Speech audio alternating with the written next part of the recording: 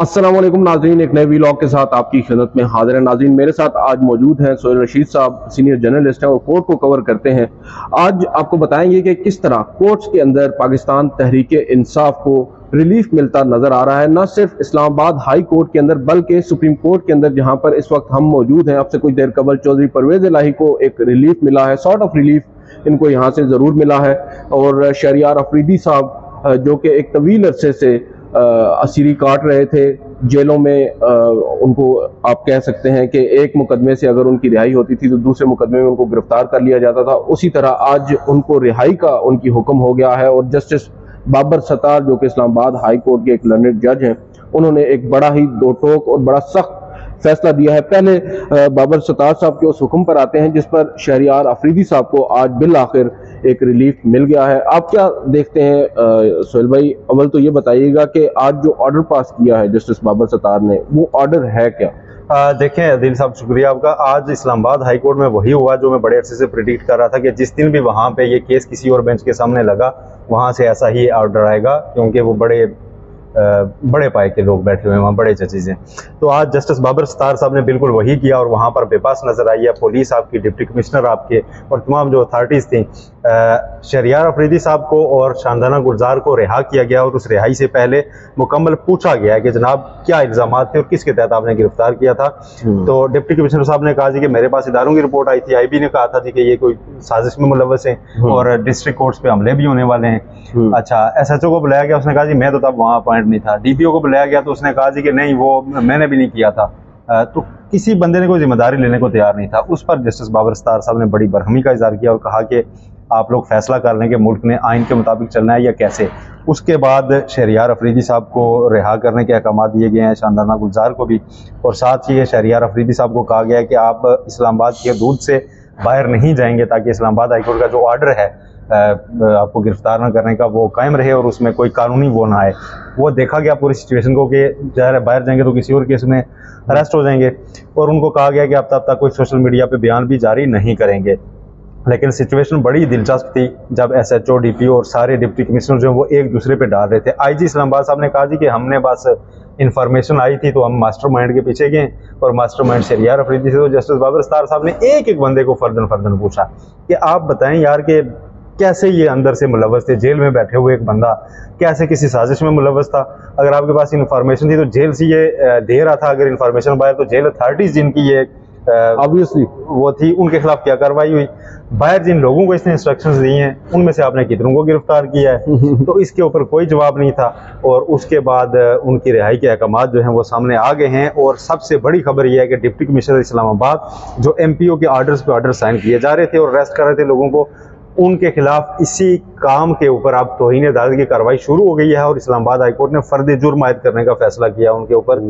Deputy commissioner Islamabad पर फर्द जुर्म लगाई जाएगी कि किस अथॉरिटी के तहत आप जब अदालत आपका एक भी एम पी ओ का ऑर्डर जो है वो बरकरार नहीं रखा अदालत ने तमाम को सेटिसाइड किया तमाम को सस्पेंड किया है। उनसे पूछा गया कोई एक ऑर्डर आपका है जो अदालत में रहा हो?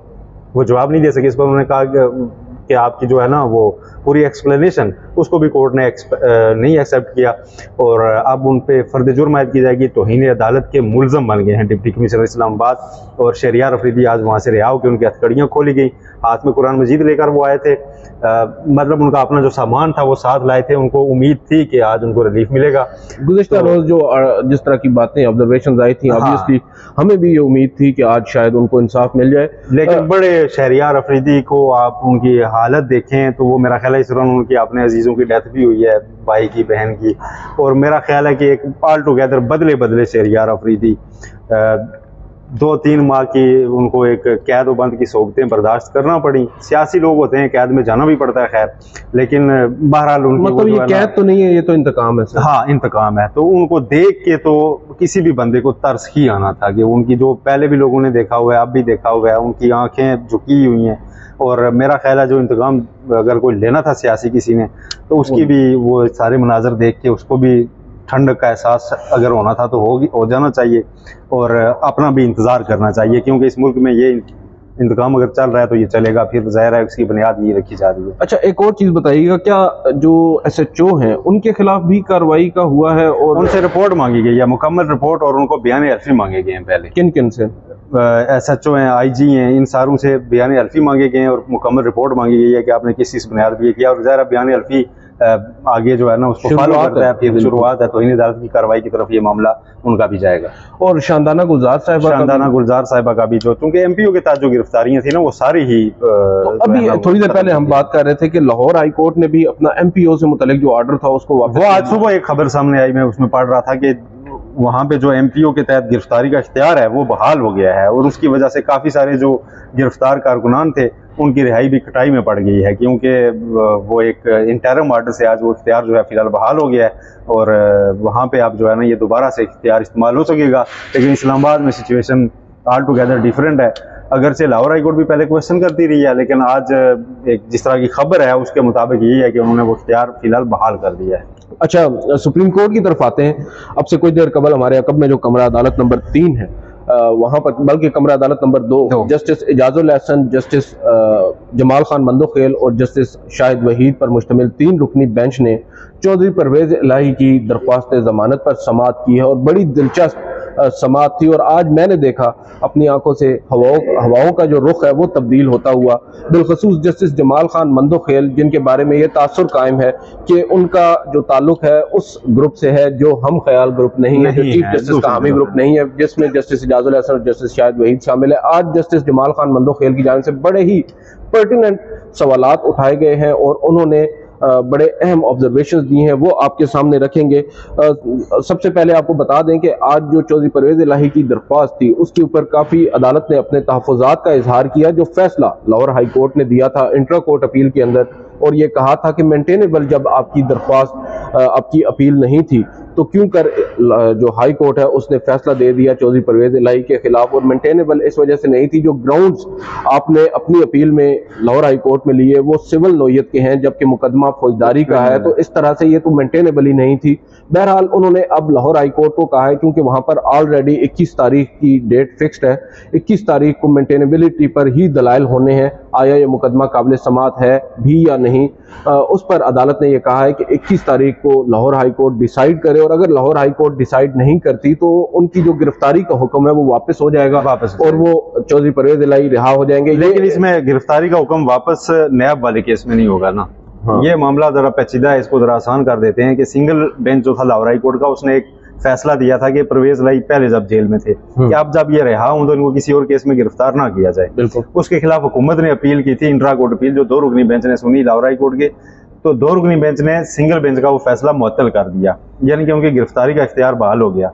तो उसके खिलाफ परवेज लाई साहब सुप्रीम कोर्ट आएगा लेकिन इससे पहले के सुप्रीम कोर्ट से कोई फैसला आता नैब उनको अरेस्ट कर चुका है और वो अरेस्ट इफ़ेक्टिव हो चुका है उसका रिमांड हो चुका है। लिहाजा इस सारे रिलीफ का डायरेक्ट फ़ायदा परवेज लाई को एज सच इसलिए नहीं पहुंचेगा कि वो नैब के कैदी बहरहाल रहेंगे। बट स्टिल जो मुकदमा है वो अभी भी सुप्रीम कोर्ट में पेंडिंग है।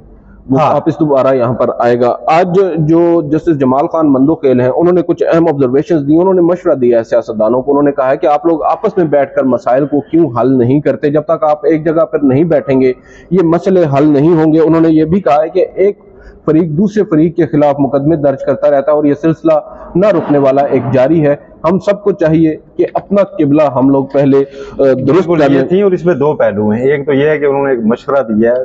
वेल उन्होंने मशवरा दिया तो साथ उन्होंने एक्नॉलेज भी किया है एक चीज़ को एक फैक्ट को एक्नॉलेज किया है। क्या एक्नॉलेज किया है?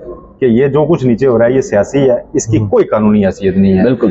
तो ये सुप्रीम कोर्ट से एक रिमार्क सामने आते हैं और सुप्रीम कोर्ट की मातहत अदालतें जो है पाकिस्तान में उन सारों के रिमांड दे रही हैं। ठीक है?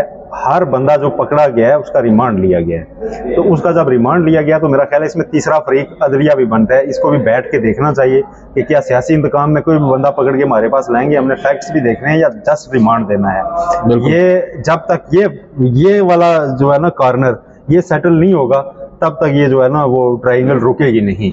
तो दो अफ्रीकन को बिठाने से कोई फ़ायदा नहीं होगा। एक कल फिर अग्रीव्ड हुआ तो दूसरे को पकड़ लेगा और आप उसका रिमांड दे देंगे। लिहाजा उसका रिमांड कैसे देना है, इन चीज़ों को आप भी सेटल करें। बिल्कुल, और जस्टिस जमाल खान मंदोखेल ने एक मौके पर कहा है कि एक शख्स कानून के सामने सरेंडर करना चाह रहा है और आप इसको उस सरेंडर से रोक रहे हैं और जो उसकी गिरफ्तारी की वो बात कर रहे हैं और उसके बाद ह्यूमन राइट्स की बात की है जो राइट ऑफ़ लिबर्टी है फंडामेंटल राइट्स फंडामेंटल राइट की बात की है जस्टिस इजाजुल एहसन ने यहाँ पर कहा है कि हम यहाँ पर जो बात कर रहे हैं वो लिबर्टी की बात कर रहे हैं आज़ादी की बात कर रहे हैं और जो जिसकी जो गारंटी है वो आईने पाकिस्तान देता है। अगर एक मिनट के लिए भी किसी की आज़ादी जो है उसको सलब किया जाता है तो ये आइन की सरियन खिलाफ वर्जी है और फिर जस्टिस जमाल खान मंदोखेल ने एक मरतबा फिर जो पंजाब हुकूमत के वकील हैं उनको याद दिलाया कि जो एक्यूज होता है वो favourite child of the court होता है तो हमने उसी की तरफ़ हमारा झुकाव होना चाहिए भी। और उससे कोई ज्यादती ना हो बिल्कुल। ज्यादती ना हो क्योंकि अगर फैसला उसके खिलाफ आएगा तो भुगतेगा वो। बिल्कुल। तो उसकी हर पहलू को देखा जाता है कानून में कि उसमें कोई ज्यादती उसके साथ ना हो जाए उसके पूरा एक सिस्टम उसके खिलाफ हुआ होता है। स्टेट प्रोसिक्यूट कर रही होती है उसके खिलाफ। मीडिया में हर जगह माहौल बना होता है तो एक जज ही होता है जो उसके एंगल से भी चीज़ को देखता है कि कहीं इसके लिए कोई कानून में गुंजाइश है तो वो जितनी गुंजाइश होती है उसे दी जाती है इसलिए उसे फेवरेट चाइल्ड कहा जाता है। ऐसा ना हो कि ये आज पहली बार ले आपके ये अच्छा आप मुलजम आपका फेवरेट चाइल्ड है। अच्छा यहाँ पर एक और उन्होंने बड़ी इंपॉर्टेंट बात की उन्होंने कहा है कि पता नहीं चौधरी परहेज लाई को गिरफ़्तार रख के या उनको पाबंद सलासल रख कर रियासत या हुकूमत क्या हासिल करना चाहती है? इस सवाल तो, का जवाब भी उन्हें पता था। ताहम उसका उन्होंने ज़िक्र नहीं किया। बिल्कुल नहीं लेकिन दबे अल्फाज में सर कर दिया ये जो ऑब्जर्वेशन दे देना जजेस की जानब से और सुप्रीम कोर्ट के जजेस की जानब से जिस तरह आपने पहले राइटली एक बात कही कि सुप्रीम कोर्ट की जानब से इन मुकदमात को सियासी नोयत का डिक्लेयर करार दे देना ये इन इट सेल्फ एक बहुत बड़ा बहुत बड़ा आप कह सकते हैं कि स्टेटमेंट है और ये समझना चाहिए माथायत अदालतों को भी जो सेशन डिस्ट्रिक्ट कोर्ट्स हैं या फिर हाई कोर्ट्स हैं उनको भी ये देखना होगा कि वो किन मुकदमात में और क्यों कर। सबसे फनी एलिमेंट में आपको बताऊँ सारी स्टोरी का जो पिछले साल एक से चल रही है क्या है इसमें जो प्रोसिक्यूट कर रहे हैं ना तो वो भी पता क्या कहते हैं? वो कहते हैं जी कि मियाँ साहब के साथ भी तो यही हुआ था। बिल्कुल। मतलब अपनी तर से वो भी कह रहे हैं कि वो ये भी गलत रहा है। गलत रहा है। ऐसे में सिर्फ़ और सिर्फ़ एक बंदे को आपने गरीबान में देखना है। रिमांड देने वाले। बिल्कुल। कि जब रिमांड लेने जो आ रहे हैं वो मीडिया में फॉर्मूला कह रहे हैं जी कि नहीं देखें हमारे साथ इन्होंने ये किया था हम इनके साथ ये कर रहे हैं। तो इट मीन्स के वो कह रहे हैं कि इन्होंने हमारे साथ गलत किया था हम इनके साथ गलत कर रहे हैं और गलत आपके फोरम से करवाया जा रहा है। आपके पास कोई भी कल को आप कह देंगे हमने बाई बुक ऑर्डर दे दिया था देख के लेकिन बाई बुक के अलावा आपने ना सरकमस्टांशल एविडेंस भी देखने होते हैं कि सरकमस्टांसिस किया है। क्यों किसी को बार बार अरेस्ट किया जा रहा है? बिल्कुल।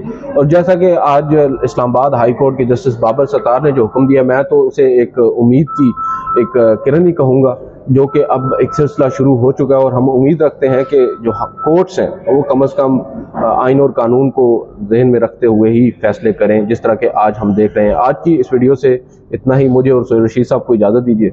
अल्लाह हाफ़